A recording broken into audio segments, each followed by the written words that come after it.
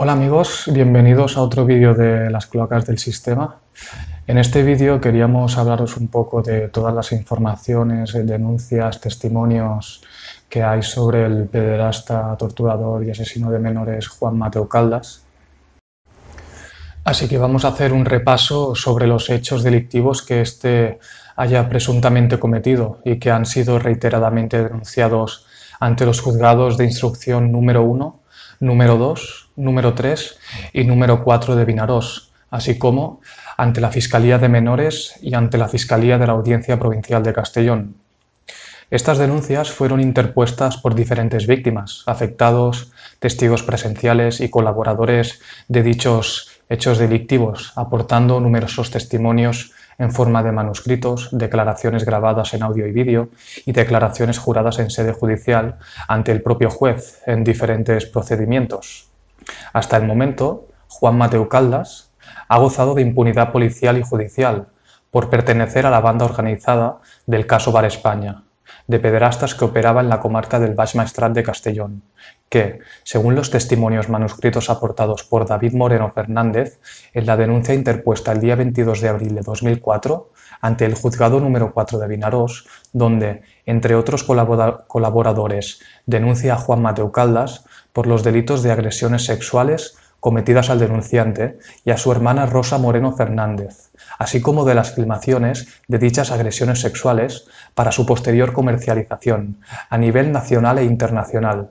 y las continuas amenazas de muerte de las que eran objeto el denunciante, su hermana Rosa y los demás niños que igualmente fueron víctimas de Juan Mateo Caldas, y por los mismos hechos presuntamente ocurridos desde el año 1991 en la residencia Baix Maestrat de Vinarós. Relación de víctimas denunciantes y no denunciantes, testigos presenciales, colaboradores, que implican a Juan Mateo Caldas en los negocios de prostitución infantil, tráfico de drogas, blanqueo de capitales y otros negocios derivados de estos. 1. Antonio Edo, según confesiones grabadas en cinco cintas contenidas en dichas grabaciones, que se hizo cargo el señor fiscal don Antonio Gastaldi Mateo, con el visto bueno del entonces fiscal jefe don Eduardo Vicente Castelló, que mediante escrito del fiscal dirigido al señor capitán jefe de la Unidad de Orgánica de la Policía Judicial de la Guardia Civil de Castellón, ordenando la investigación completa y exhaustiva de todos y cada uno de los indicios que en ellas aparecen, nombrando como responsables de esta investigación a los miembros de la Unidad de Policía Judicial adscrita de la Audiencia Provincial de Castellón. En una de estas cintas de vídeo, Antonio Peraira confiesa que fue colaborador y acataba las órdenes de Juan Mateo Caldas a cambio de dinero para suministrarle niños, la mercancía para el negocio. Peraire captaba a los niños de Benicarló y con su ciclomotor los llevaba al Bar España de Benicarló. Juan Mateo Caldas es reconocido por Antonio Peraira como uno de los cabecillas de la red de pederastas que actuaba en la comarca del Baix Maestrat de Castellón,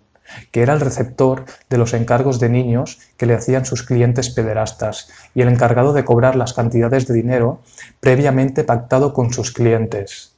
Según las confesiones de Peraira, Juan Mateo Caldas negociaba las películas que eran filmadas en el momento de producirse las agresiones sexuales con los niños,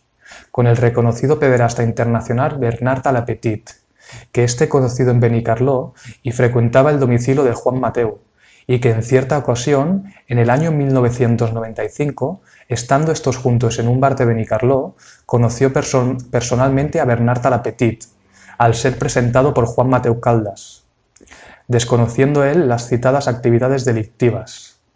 Según las confesiones de Antonio Peraira, Juan Mateu Caldas, en reuniones mantenidas en el Bar España con algunos clientes suyos, negoció la venta de copias de las películas que fueron filmadas durante el secuestro y asesinato de las niñas de Alcácer, que según las propias confesiones de Antonio Peraira, él mismo, junto con Carlos España, pudieron visualizarlas en el Bar España de Benicarló.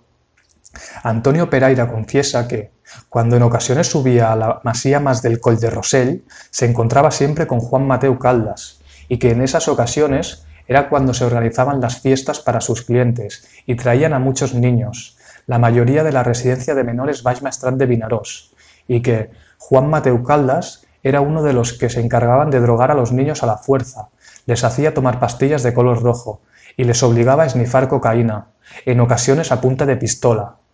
Según las confesiones de Peraira, Juan Mateo Caldas y otros pederastas, torturadores y asesinos de menores participaron como cómplices en el secuestro y asesinatos del empresario de Peñíscola Miguel Roch, junto a Demetrio López Robles, quien fue el único imputado y condenado por este asesinato.